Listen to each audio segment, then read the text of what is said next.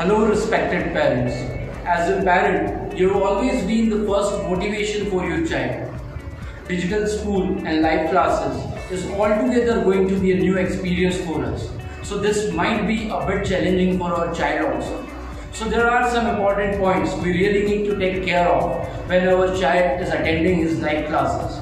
So, here we will discuss some do's and don'ts that we really need to do at our home. So first of all we will see some important points which we really need to do while our child is taking his live classes. We really need to explain him why this live classes and digital learning is important. We really need to explain them about the coronavirus situation and the basic safety measures.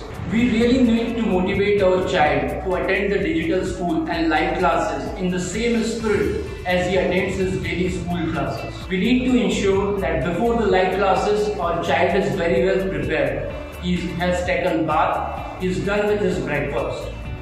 Always remember, we need to provide a dedicated place to our child to attend his live sessions. We need to motivate our child to attend the digital school and live classes in the same spirit as he attends his daily school classes. We need to ensure that our child is well prepared before attending the live classes. He has taken the bath, he has taken his breakfast. We should always ensure to provide him a dedicated place in our home to attend his daily live classes. We should also ensure that he has the required technical bandwidth and the network connection. If you do not have a spare computer, share your mobile phone with your child. When you are sharing your mobile phone with your child, always remember to active the do not disturb feature. So there should not come any disturbance while he is attending his live classes. We really need to follow the timetable provided by the school for live classes. We should always keep this in mind. We need to assist the teachers as they are also trying too hard and facing the same concerns which we are facing during the period of lockdown. So these are some important things that we really need to take care of when our children are attending their live classes. In the same way, there are some things which we should avoid while our children is attending his live classes. Remember, we never need to listen to his live classes.